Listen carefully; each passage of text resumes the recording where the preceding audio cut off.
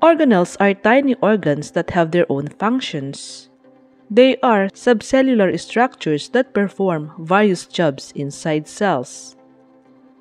The organelles present in both animal and plant cells are cell membrane, nucleus, nucleolus, ribosomes, mitochondrion, Golgi bodies, smooth endoplasmic reticulum, rough endoplasmic reticulum, vacuoles, lysosome, and cytoplasm.